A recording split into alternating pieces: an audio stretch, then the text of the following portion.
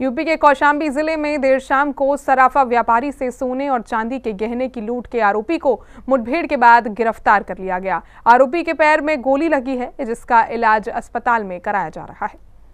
कौशाम्बी में अपनी दुकान बंद कर घर लौट रहे व्यापारी को लूटने के आरोपी को पुलिस टीम द्वारा गुरुवार की शाम को मुखबिर की सूचना पर लूट करने वाले आरोपी को घेर लिया गया। इस पर आरोपी ने फायरिंग करनी शुरू कर दी। पुलिस ने आरोपियों को घेर लिया। मुठभेड़ में एक आरोपी को गोली लगी। आरोपी के पास से पुलिस ने लूटे गए गहने और काली अपाचे बाइक, एक अवैध तमंचा और कारतूस बरामद किए हैं। पुलिस ने घायल आरोपी को इलाज के लिए जिला अस्पताल में भर्ती कराया है।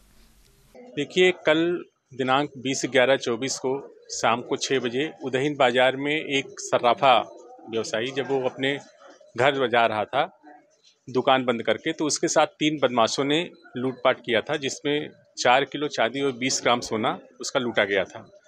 मौके से पब्लिक और पुलिस ने एक अभियुक्त, मोनू पासी को गिरफ़्तार किया था।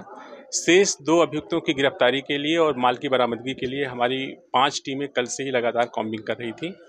आज एक सटीक सूचना प्राप्त हुई कि ये जो बाकी दो अभियुक्तगढ़ हैं, ये संदीपन घाट क्षेत्र में उपस्थित हैं।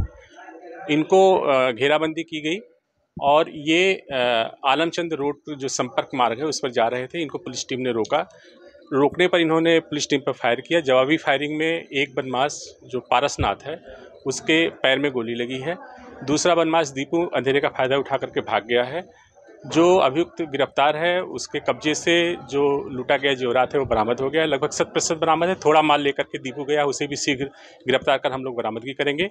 इसके कब्जे से एक तीन सौ पंद्रह बोर का जो पिस्टल है, वो भी बनी है। और जो घटना में प्रयुक्त बाइक थी, वो भी बरामद कर ली गई है। वहीं दो आरोपी रात में अंधेरे का फ़ायदा उठाकर फरार हो गए, जिनकी तलाश के लिए कौशाम्बी पुलिस लगातार दबिशें दे रही है। सी न्यूज़ के लिए ब्यूरो रिपोर्ट।